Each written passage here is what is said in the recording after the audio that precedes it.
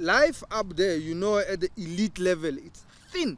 You know, it's Vous savez, quand vous vivez en haut de l'échelle, au niveau des élites, la frontière devient vraiment ténue pour ce qui est de l'usage de la drogue.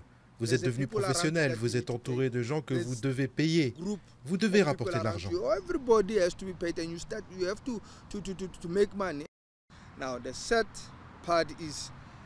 Maintenant, ce qui est triste, c'est que pour des gens qui sont peut-être comme moi, ils font quelque chose de mal et ensuite ils vont être sanctionnés happens. 4 ans. then they're gonna 4 ans, c'est trop long.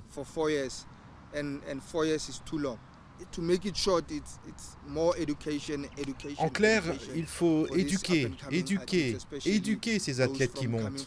En particulier ceux qui viennent de milieux désavantagés, pour qu'ils sachent bien qu'un complément donné de façon illégale, ça peut être dangereux.